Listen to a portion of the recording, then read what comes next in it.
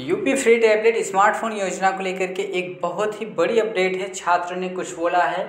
वो भी चीज़ आपको बताई जाएगी इस वीडियो में। इसके अलावा जो लेटेस्ट अपडेट है, उसके बारे में बताएँगे।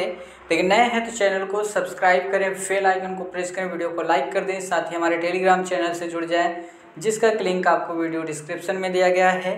तो चलिए वीडियो की शुरुआत करते हैं और जानते हैं लेटेस्ट अपडेट क्या है। यहाँ पर देख सकते हैं कि जब से आचार संहिता लगा है तो देख सकते हैं क्या बड़ी अपडेट है। जो आचार संहिता के बाद हुआ है कि यूपी के उनचास जिलों के चौबीस लाख सतहत्तर हज़ार आठ छात्रों ने टैबलेट और मोबाइल के लिए पंजीकरण कराया था। यहाँ तक क्लियर है। लेकिन एक दशमलव पाँच तीन फ़ीसदी छात्रों को भी गैजेट नहीं मिले, जबकि अब आचार संहिता के पेज में लाखों टैबलेट और मोबाइल फंस गए हैं। योगी आदित्यनाथ ने पहले चरण में अड़तीस छात्रों को ये जो लैपटॉप टैबलेट था, ये अलग ज़िले के हैं, इन ज़िलों की बात हो रही है, ठीक है? लखनऊ का इसमें नहीं छोड़ा गया है।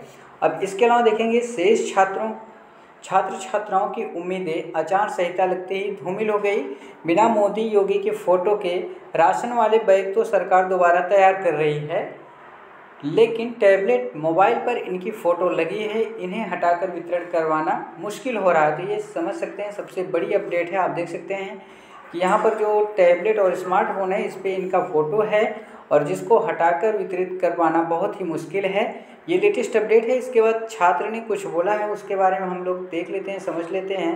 तो यहाँ पर देख सकते हैं, लखनऊ में बीटेक छात्र मनीष मिश्रा का कहना है कि सरकार जानती थी कि चुनाव घोषणा के बाद वितरण संभव नहीं होगा। इसके बाद भी अमृत्व की भावना नहीं त्यागी जा सकी, इतना ही नहीं, टैबलेट बांटने के चक्कर में कॉलेजों के प्राचार्य को मुकदमा तक झेलना पड़ा। ठीक है, ये एकमात्र चैनल था जिसने आपको जानकारी दिया था। समझ सकते हैं, सबसे पहले ये जानकारी दिया था कि एक प्रिंसिपल ऐसे हैं जिन्होंने टैबलेट स्मार्टफ़ोन का वितरण किया, उनके खिलाफ एफआईआर हुआ। तो ये ये वीडियो कुछ लोगों को फेक लग रहा था, लेकिन आप इसमें देख सकते हैं कि कई जगह ये चला था कि मुकदमा भी हुआ तो यही बताया गया है कि बांटना तो दूर है, वहाँ पर एफआईआर भी हुआ था, केस भी हुआ है, और इसके बाद देखिए, सात जनवरी को बस्ती के एपीएन के प्राचार्य डॉक्टर एपी सिंह के खिलाफ छात्र छात्राओं को टैबलेट मोबाइल बांटने के आरोप में आचार संहिता का उल्लंघन मुकदमा दर्ज हो गया। ये सभी लोग, आप लोग जानते हैं। अब यहाँ पर जो महत्वपूर्ण जानकारी आपको देना है तो देखिए यहाँ पर सबसे बड़ी चीज़ ये है कि जो आपका टैबलेट और स्मार्टफ़ोन योजना चल रहा था, उस पर सी योगी और पीएम मोदी का जो फ़ोटो है, इस वजह से टैबलेट और स्मार्टफ़ोन का वितरण रोक दिया गया है और अभी तक शासन की तरफ़ से कोई आदेश नहीं आया है।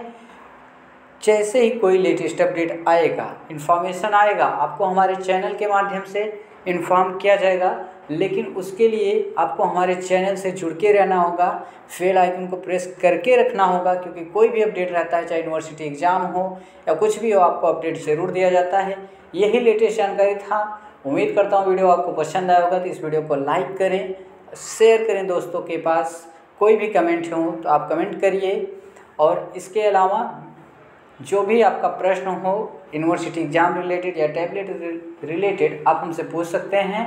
उम्मीद करता हूँ आपको वीडियो पसंद आया होगा तो लाइक शेयर सब्सक्राइब करें। मिलते हैं एक नए वीडियो में। नए इन्फॉर्मेशन के साथ बने रहिएगा नया इन्फो के साथ।